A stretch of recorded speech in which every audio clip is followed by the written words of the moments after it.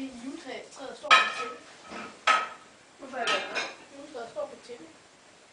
Så er det bare. Det er et godt start. Jeg har fundet et lys, der jeg tager. Tænd det. Det er godt. Det er også et helt i toppen. Ja, det er det. Det var ikke god. Det kan jeg gøre. Åh, oh, det tror jeg også, det er det bedste. Ærligt talt. Okay, der var så rimelig mange lys lige der. Ja.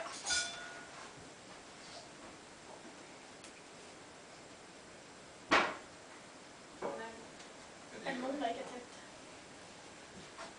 Så kan jeg ikke se. Jeg skal sige, at ikke må sove. Okay.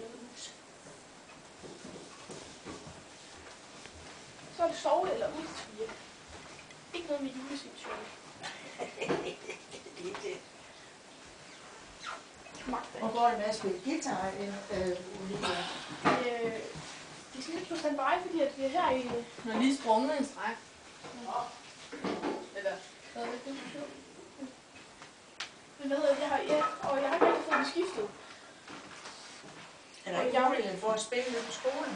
Jo, men det er ikke, der er ikke sådan uh, mulighed for sådan professionel undervisning, rigtigt. Undtagen så er det jo musiklærer Michael, men han, jeg var ikke, jeg er ikke så vild med musiklærer Michael. Det er ligesom om,